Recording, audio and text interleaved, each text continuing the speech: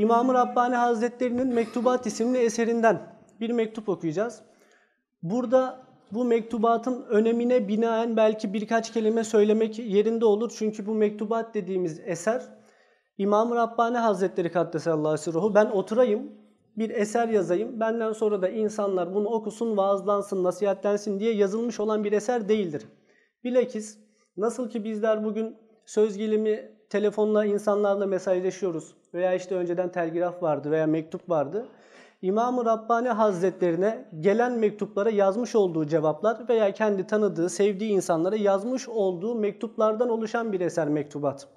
Ama gelin görün öyle hikmet dolu, öyle yüce bir kitap ki bugün aradan kaç yüz yıl geçmesine rağmen biz bugün bu kitabı okuyoruz ve Allah'ın izniyle bize bir teşvik oluyor, bir nasihatlenme babında bir kaynak eser olarak kullanıyoruz bu eseri.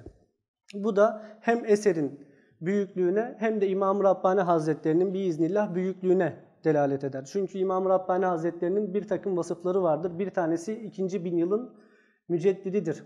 Kendisinin söylendiğine göre 70 bin tane evliya yetiştirmiştir. Yani 70 bin tane hoca veya 70 bin tane talebe değil. 70 bin tane evliya. Bir de yetiştirip de evliya olamayanlar vesaire bunları da kattığımızda hani buradan bu zatın büyüklüğünü anlıyoruz. Kısaca bahsedecek olursak İmam-ı Rabbani Hazretleri ve Mektubat isimli eser bu şekilde.